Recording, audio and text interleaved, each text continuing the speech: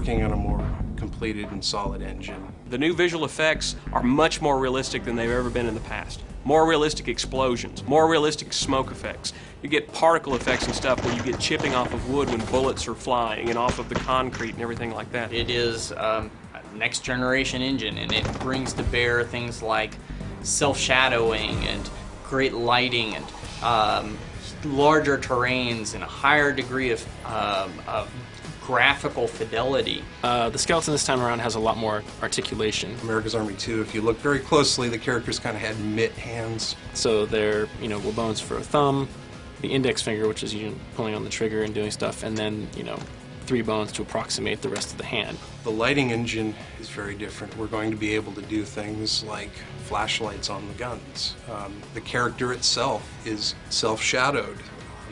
The shadow will become sort of part of the tactical element of gameplay. You can be standing around a corner and see somebody's shadow before they come into view.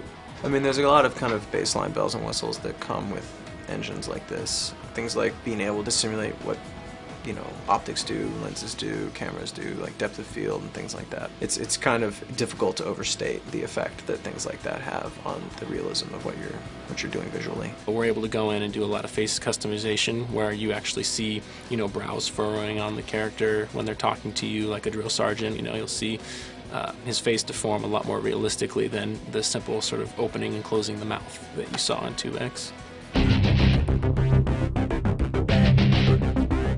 Rather than us trying to figure out what they would do, we can actually put them in the suit and get them to do it for us, capture that data and translate that into direct animations. It's called the Vicon system. It's a 28 camera system that uses uh, infrared light. We get our Special Forces SME in there. He puts on a black suit that's light absorbent so it has no reflectivity on it. And then tracking markers are put at different points on his body, you know, near joints like the knees, the elbows, shoulders, so that um, if any you know three cameras at any time can see one of those dots on the character uh, on the soldier, they can triangulate that point in 3D space. I think what it gives us is realism, not only you know the, the technologies we present, but actually representing them in use in the game. All of the animations are captured from Special Forces subject matter experts serving in Iraq, Afghanistan. So this, these are the people that know how to do all these movements. So they're very real. I want 110%. Cool? Go!